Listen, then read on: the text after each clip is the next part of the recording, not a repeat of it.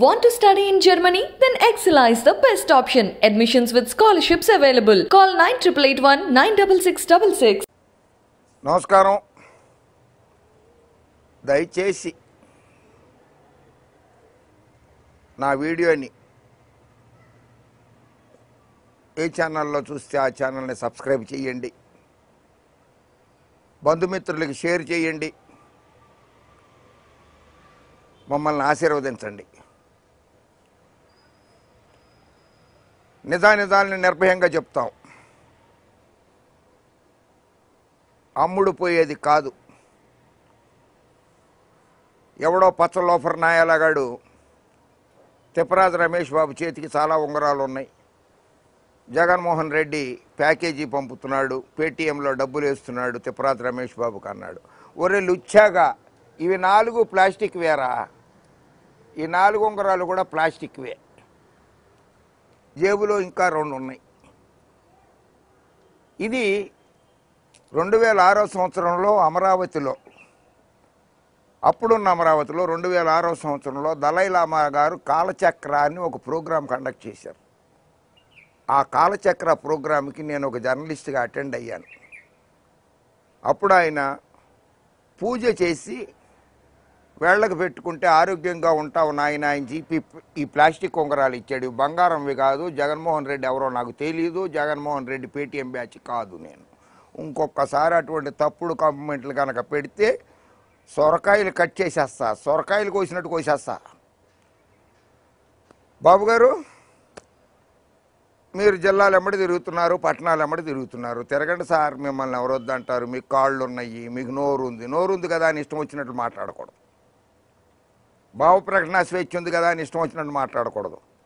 ఏంటో ఒక మాజీ ముఖ్యమంత్రిగా పద్నాలుగేళ్ళు ముఖ్యమంత్రిగా చేసి ప్రతిపక్ష నాయకుడుగా ఉంటూ జాతీయ నాయకుడు అని చెప్పుకుంటూ జాతీయ పార్టీ అని చెప్పుకుంటూ రాష్ట్రపతులను చేశాను ప్రధానమంత్రులను చేశానని చెప్పుకుంటూ ఏమిటా భాష మీరు మాట్లాడేది?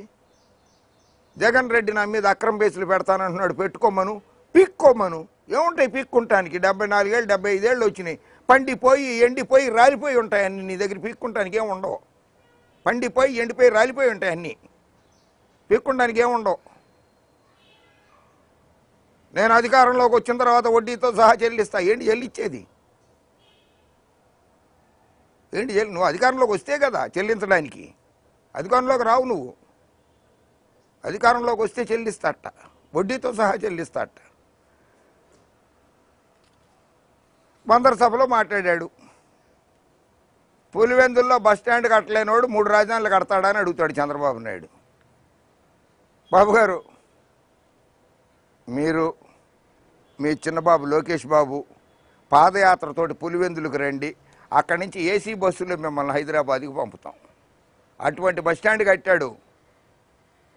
NT Rama Rao garu Vijayawada bus stand కట్టాడు చూసావా? అంతకంటే అద్భుతంగా కట్టాడు బస్ స్టాండ్ అక్కడ పులివెందుల్లో. ఆరు నెలలైంది ఆ బస్ స్టాండ్ ప్రారంభోత్సవం జరిగిపోయి కూడా.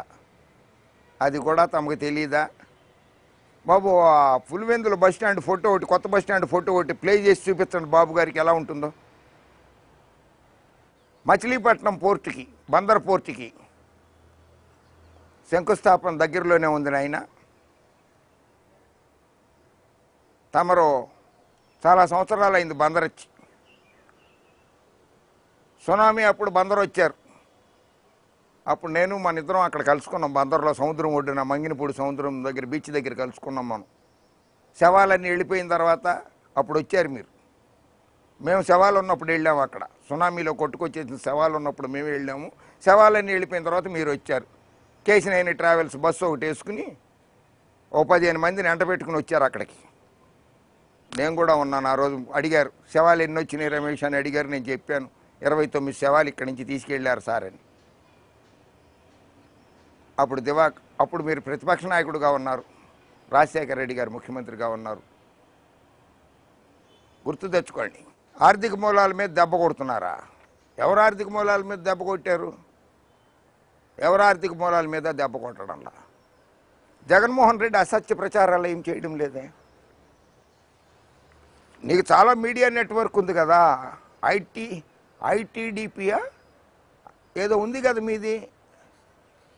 ఇండో టిబెట్ బోర్డర్ పోలీస్ లాగా ఐటీబీపీ లాగా నీకు ఏదో ఫోర్స్ ఒకటి ఉంది కదా. ఒక ఐదు వందల మంది ఆరు వందల మందో వెయ్యి మంది ఉద్యోగాలు చేస్తున్నారు కదా. ట్విట్టర్లో పెట్టడానికి ఫేస్బుక్లో పెట్టడానికి వాట్సాప్లో పెట్టడానికి ఉన్నారు కదా. ఆర్టీఐ యాక్ట్ కింద వేయించు. కరెక్ట్గా ఏ రోజునాడైతే ఒక పథకానికి మంచి పేరు పెట్టి ఆ పథకాన్ని ప్రచారం చేయడానికి ముఖ్యమంత్రి జగన్మోహన్ రెడ్డి వెళతాడో అదే రోజు నాడు నువ్వు అడ్డమైన కూతలో కూస్తున్నావు. వైఎస్ఆర్ ఈబీసీ నేస్తం నలభై ఐదు నుండి అరవై ఏళ్ళ లోపు ఉన్న ఈబీసీ అక్క చెల్లెమ్మలకు ఆర్థిక సహాయం. ఏటా పదిహేను వేలు.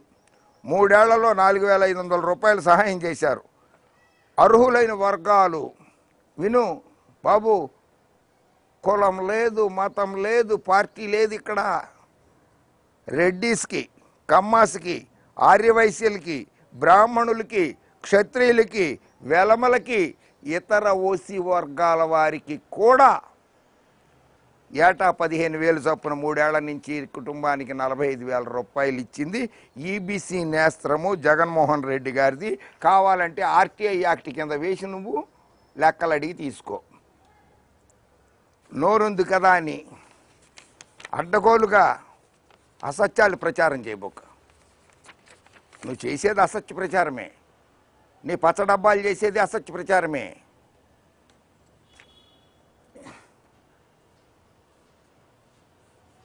లబ్ధిదారులు ఈ ఈబీసీ నేస్తం కింద లబ్ధిదారులు నాలుగు లక్షల ముప్పై తొమ్మిది వేల అరవై ఎనిమిది మంది. ఇప్పటి వరకు వాళ్ళకి అందించిన ఆర్థిక సహాయం ఆరు వందల యాభై ఎనిమిది కోట్ల అరవై లక్షలు. ఇది లెక్కలు ఇవి.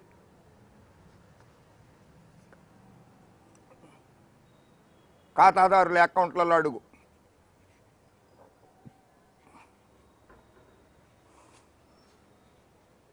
అంటున్నావు కదా. సైకిల్ పోవాలి అని నువ్వే అంటున్నావు. సైకో పోవాలంటావు. ఎవడరా సైకో? ఎవడో సైకో? నువ్వే సైకోవి. జగన్మోహన్ రెడ్డి సైకో కాదు. అక్క చెల్లెళ్ళు బాగుంటేనే ఇల్లు బాగుంటుంది.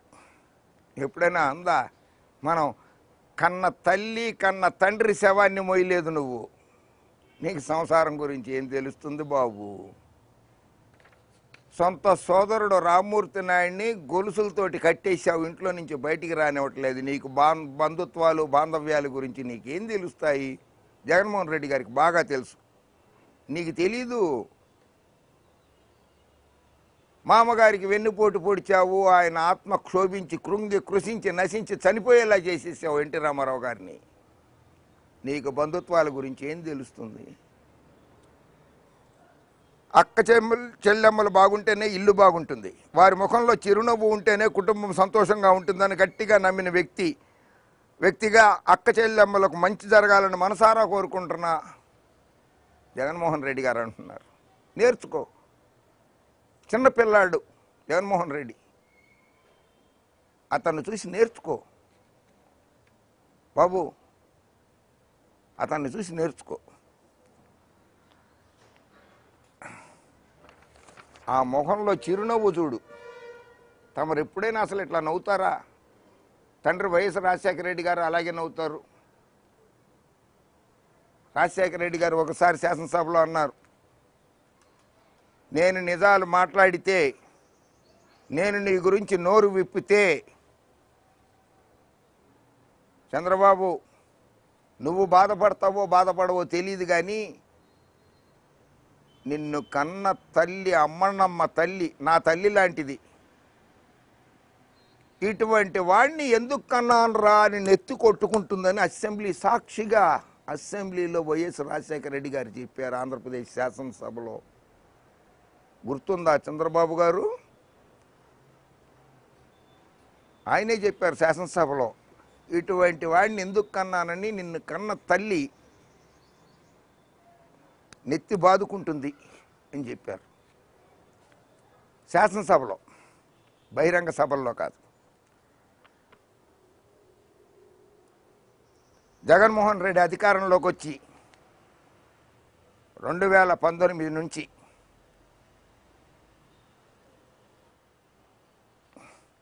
వివిధ పథకాల ద్వారా అక్క చెల్లెళ్ళకు జగన్మోహన్ రెడ్డి ప్రభుత్వం అందించిన లబ్ధి రెండు లక్షల ఇరవై ఐదు వేల తొమ్మిది వందల తొంభై ఒక్క కోట్ల తొంభై నాలుగు లక్షల రూపాయలు కేవలం అక్క చెల్లెళ్ళకి అందించాడు జగన్మోహన్ రెడ్డి ప్రభుత్వం. ఇవి ఆర్థిక శాఖ గణాంకాలే. కాకి లెక్కలు కాదు. మార్గదర్శి లెక్కలు కాదు. వీణావాణి లెక్కలు కాదు. వీణావాణి పేరు చెప్పేసి సొమ్ములు కొట్టేశారు కదా కొందరు మీ మిత్రులు. ఆ లెక్కలు కాదు ఇది. నూనె రాసుకోండి మీ జుట్టు రాలదని చెప్పి అందరు జుట్టు ఓడపీకారే మీ మిత్రుడు ఇంకో ఆయన. ఆ లెక్క కాదు ఇది. అధికారికమైన లెక్కలు ఇవే. జగనన్న ప్రభుత్వం అధికారంలోకి వచ్చిన నాటి నుంచి ఇప్పటి వరకు వైఎస్ఆర్ ఈబీసీ నేస్త్రం. ఒక వెయ్యి రెండు వందల యాభై ఏడు కోట్ల నాలుగు లక్షల రూపాయలు. ఒక్కొక్కరికి అందిన సాయం ముప్పై వేల రూపాయలు. ఈబీసీ నేస్తం ఇది. ఈ పథకం ద్వారా అందించారు జగన్మోహన్ రెడ్డి ప్రభుత్వం. ఒక వెయ్యి పన్నెండు వందల యాభై ఏడు కోట్ల నాలుగు లక్షల రూపాయలు అందించారు. లబ్ధిద ముప్పై వేల మందికి అందింది. ముప్పై వేల రూపాయల చొప్పున ఒక్కొక్కరికి అందిన సాయం అది. బాబు గారు రాష్ట్ర ప్రజల్ని జగన్మోహన్ రెడ్డి వేధించడంలా. రాష్ట్ర ప్రజలందరూ కూడా సుఖ సంతోషాలతోటి ఉన్నారు. నువ్వు నన్నేమన్నావు విజయవాడలో మాట్లాడుతూ జగన్మోహన్ రెడ్డి పరిపాలన రాక్షస పరిపాలన ఆ పక్కనే నువ్వు నలభై ఐదు గుళ్ళు కూలగొట్టిచ్చేసావు నలభై ఐదు దేవాలయాల్ని బుల్డోజర్స్ తోటి కూలగొట్టిచ్చేసావు. బాబు ఆ క్లిప్పింగ్ ఒకసారి ఆ ఫోటోలు పెట్టండి ఆయన ఆ క్లిప్పింగ్ పెట్టండి. నలభై ఐదు గుళ్ళని దేవాలయాల్ని పుష్కరాల టైంలో కూలగొట్టించేసావు నలభై ఐదు దేవాలయాల్ని. నువ్వు రాక్షసుడువా జగన్మోహన్ రెడ్డి రాక్షసుడా? బాబు తాళం వేసుకో. పిచ్చి బాగా ముదిరిపోయింది. మిమ్మల్ని సమర్థించే పత్రికలు మిమ్మల్ని సమర్థించే డబ్బాలు వాటి అక్రమాలన్నీ ఒక్కొక్కటి ఒక్కొక్కటి బయటకు వస్తున్నాయి ఇప్పుడు. ఆగు. ఇంకా ఉంది చంద్రజ్యోతి దాని మీద కూడా ఉంది అప్పుడే కంగారు పడకు. చంద్రజ్యోతి మీద కూడా ఉంది. తమరు ముఖ్యమంత్రిగా ఉండగా ఎన్ని వందల కోట్ల రూపాయలు ఆ చంద్రజ్యోతి పత్రికకి చంద్రజ్యోతి డబ్బాకి ఎన్ని వందల కోట్ల రూపాయలు ప్రకటనల రూపంలో ఇచ్చారో అది కూడా వస్తుంది. దాదాపు ఏడు వందల కోట్ల రూపాయలు. ఒకటి కాదు రెండు కాదు ఇగో చెమటోడ్చి పన్నులు కట్టిన ప్రజాధనాన్ని ఏడు వందల కోట్ల రూపాయలని డబ్బాలకి ఇన్ని పచ్చ డబ్బాలకి పచ్చపత్రిక ఒక ఒక్క పత్రికే. పచ్చడబ్బా పచ్చపత్రిక ఒకటే చంద్రజ్యోతికి. కట్ట చెప్పావు ముట్ట చెప్పావు అప్ప చెప్పావు. ఎవడబ్బ సొమ్ము అనుకున్నావు? పేద బడుగు బలహీన దళిత వర్గాల వారు మైనారిటీల వారు రాష్ట్ర ప్రజలు ఐదున్నర కోట్ల మంది కట్టిన చెమటోడ్చి కట్టిన పన్ను అది. ధర్మోరక్షత రక్షిత అంటారు. జగన్మోహన్ రెడ్డి అది తుచ తప్పకుండా పాటిస్తున్నాడు. ఏంటంటే చికిత్స కోసం హైదరాబాద్ వెళ్తున్నారు. జగన్మోహన్ రెడ్డి ప్రభుత్వం సిగ్గుపడాలా? ఆయన ఏం చెప్పలేదు వెళ్ళమని హైదరాబాద్ వెళ్ళి చికిత్స చేయించుకోండి అని చెప్పలేదే. జగన్మోహన్ రెడ్డి ఎప్పుడూ చెప్పలేదు. బాబు గారు సీఎంగా ఉన్నప్పుడు ముఖ్యమంత్రిగా ఉన్నప్పుడు ఓ పుచ్చిపోయిన పన్ను ఇలాగా ఇలా పుచ్చిపోయిన పన్ను తీయించుకుంటానికి యనమల రామకృష్ణుడు గారు సింగపూర్ వెళ్ళారు. ప్రజాసొమ్ము మూడున్నర లక్షల రూపాయలు ఖర్చు పెట్టారు ప్రజాసొమ్ముని ఇదేది ప్రజలు కట్టిన డబ్బుల్ని మూడున్నర లక్షలు ఓ పి- పిప్పి పన్ను తీయించుకుంటానికి. పుచ్చిపోయిన పన్ను తీయించుకుంటానికి. మూడున్నర లక్షల రూపాయలు ప్రజాసొమ్ముని ఖర్చు పెట్టారు సింగపూర్ వెళ్ళి. దాన్ని ఏమంటారు బాబు? దాన్ని అన్- దాన్ని ఏమంటారు రాధాకృష్ణ గారు? శాడిస్ట్ ముసలోడు ఉన్నాడు వాడు శాడిస్టే కాదు సైకో కూడా. అమెరికా వెళ్తూ ఉంటాడు ట్రీట్మెంట్కి పచ్చ నాయకులు ఉన్నారే పచ్చ పార్టీ నాయకులు. వాళ్ళు మాత్రమే వెళ్తారు. విజయవాడలో చౌదరి గారి హాస్పిటల్ ఒకటి ఉంది కదా. దాని పేరు ఏదో ఉంది రమేష్ హాస్పిటల్స్ ఏదో ఉంది అక్కడికి వెళ్తారు. కోర్టులో కేసు అనగానే అక్కడికి వెళ్ళిపోతారు. సిఐడి విచారణ అనగానే అక్కడికి వెళ్ళిపోతారు.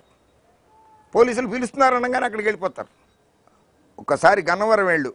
బెదవాళ్ళలోనే ఉన్నావు కదా పక్కనే కదా గన్నవరం పదిహేను ఇరవై కిలోమీటర్ల దూరంలో గన్నవరం ఉంటుంది. అక్కడ సిసిఎంబి స్థాయిలో గన్నవరంలో ఇరవై కోట్ల రూపాయలు వెచ్చించి వైరాలజీ ల్యాబ్ని ఏర్పాటు చేశాడు జగన్మోహన్ రెడ్డి. ఒకసారి అక్కడికి వెళ్ళి చూడు. ఊరికినే అబద్ధం నోటికి ఏది వస్తే అది మాట్లాడటం ఏది వస్తే అది వాగేయడం కాదు. పిక్కో లాక్కో అంటాం కాదు. నువ్వు పద్నాలుగేళ్ళు ముఖ్యమంత్రిగా ఉండి ఎంపీకేవు అది చెప్పు ప్రజలకి. ఎంపీకేవు పద్నాలుగేళ్ళు ముఖ్యమంత్రిగా ఉండి. హాం వివాహ భోజనంబు విందైన వంట కంబు ప్రజాస్వామ్యం అలా తినేసావు. ఎకరాలు ఎకరాలు దోచుకున్నావు. జగన్ ఆస్తులు ఐదు వందల పది కోట్లు. ఈనాళ్ళు పేపర్లో రాసిస్తారు. దేశంలో అత్యంత ధనిక సీఎం జగన్. ఇది హిందూ పేపర్లో వచ్చింది. ఇది హిందూ పేపర్లో వచ్చింది. దేశంలోనే అత్యంత ఎక్కువ సొమ్ముని ఎలక్షన్ కమిషన్ ఆఫ్ ఇండియాకు చూపించిన వ్యక్తుల్లో డికే శివకుమార్ ఎనిమిది వందల నలభై కోట్ల రూపాయలు ఎన్ నాగరాజు ఒక వెయ్యి పదిహేను కోట్ల రూపాయలు చంద్రబాబు నాయుడు ఆరు వందల అరవై ఎనిమిది కోట్ల రూపాయలు జయంతిభాయ్ పటేల్ ఆరు వందల అరవై ఒక్క కోట్ల రూపాయలు. వాళ్ళందరికంటే కూడా తక్కువే ఉంది కదా జగన్మోహన్ రెడ్డిది. ఎందుకు ఇట్లా అసత్యాలు? ఇక నుంచి అయినా బాబు గారు మీ గౌరవాన్ని మీరంటే నాకు చాలా గౌరవం. మీ రాజకీయం అంటే ఇష్టం ఉండదు. మీ గౌరవాన్ని మీరే నిలబెట్టుకోండి. అసత్యాలు ప్రచారం చేయకండి. మీ మేనిఫెస్టోలో ఆరు వందల వాగ్దానాలు చేశారు అరవై వాగ్దానాలు కూడా నెరవేర్చలేకపోయారు మీరు. అరడజన వాగ్దానాలు నె- నెర- నెరవేర్చారేమో. ప్రజల్లో చులకనైపోతారు. మీరు చులకనైపోతే నాకు చాలా బాధేస్తుంది బాబు గారు. అబ్బాబ్బాబ్బా మీరు చులకన కావద్దు ప్రజల్లో. చాలా ఫ్రస్ట్రేషన్లో ఉన్నారు మీరు. మీ పుత్రరత్వంకి నేర్పేశారు. ఆస్తులతో పాటు అబద్ధాలు కూడా పనిచేశారు అతనికి. అతను కూడా అసత్యాలే ప్రచారం చేస్తున్నాడు. కనుక ప్రజల్లో మీ గౌరవాన్ని మీరు నిలబెట్టుకుంటానికి జాతీయ స్థాయిలో కూడా మీ గౌరవాన్ని మీరు నిలబెట్టుకుంటానికి అసత్య ప్రచారం మానేయాల్సిందిగా విజ్ఞప్తి చేస్తున్నాను. మీరు చేసే అసత్య ప్రచారాన్ని పాపం పచ్చతమ్ముళ్ళు ఉన్నారు చూసారా వాళ్ళు భరిస్తున్నారు. వాళ్ళకి తెలుసు నిజా నిజాలు ఏంటి అనేది. వాళ్ళు ప్రజల్లో చులకనైపోతున్నారు. దయచేసి అసత్యాలు మానేయాల్సిందిగా ప్రార్థిస్తున్నాను. జై హింద్.